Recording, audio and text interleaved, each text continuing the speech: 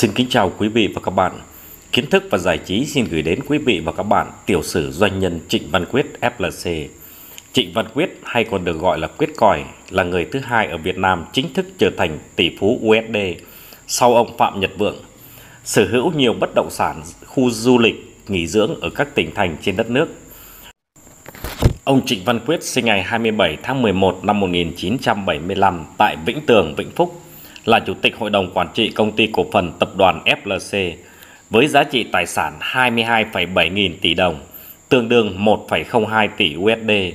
Năm 14 tuổi, Trịnh Văn Quyết đã có ý chí khởi nghiệp và trở thành tỷ phú đô la năm 43 tuổi, xếp thứ hai sau đại gia bất động sản Phạm Nhật Vượng. Năm 1997, Trịnh Văn Quyết tốt nghiệp Đại học Luật Hà Nội. Thời điểm đó, sinh viên ra trường là phải vào cơ quan nhà nước mới có được cơ hội thành đạt.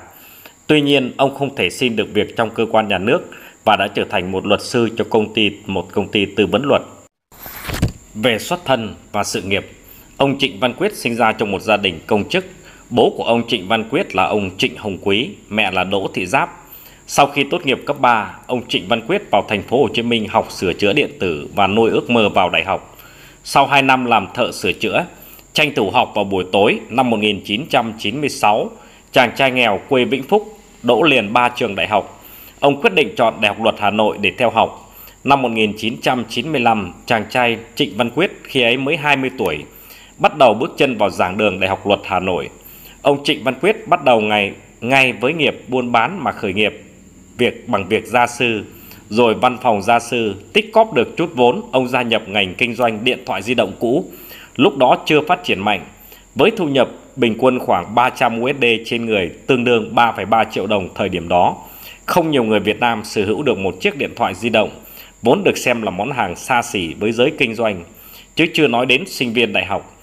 Cùng với các cách thức tương tự, ông đã lập tập đoàn FLC, khi đó đầu tư kinh doanh thêm đồ gỗ và TV.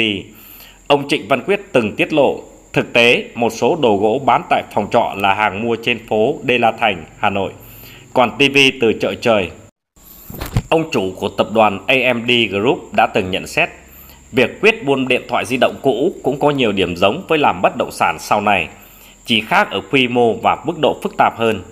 Năm 2001, vốn có máu kinh doanh, ra trường quyết mở công ty tư vấn luật SMIC, chuyên tư vấn luật doanh nghiệp, tư vấn đầu tư.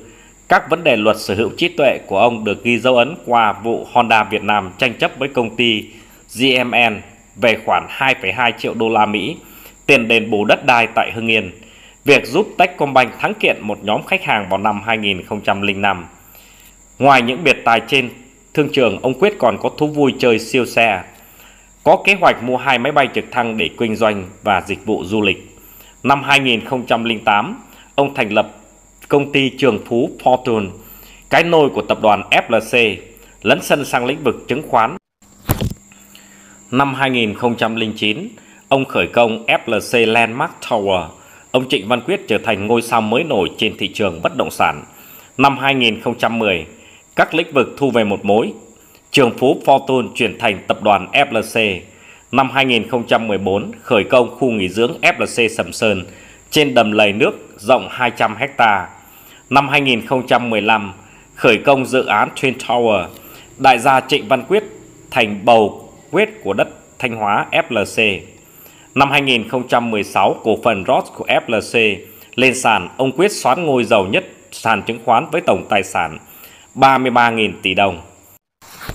Năm 2017, ông thành lập hãng hàng không Bombo Airways, hàng không che Việt với vốn 700 tỷ đồng.